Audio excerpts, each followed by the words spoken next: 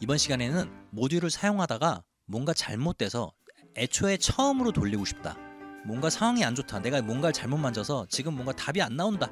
그래서 소리를 뭐 일일이 다시 원상복귀하고 하는 게 너무 귀찮다. 그래서 처음으로 돌리고 싶다. 그거를 초기화라고 많이 표현하죠. 네, 컴퓨터에도 초기화가 있고 카메라에도 포맷이 있듯이 그런 초기화를 시키는 법을 한번 알아보도록 하겠습니다.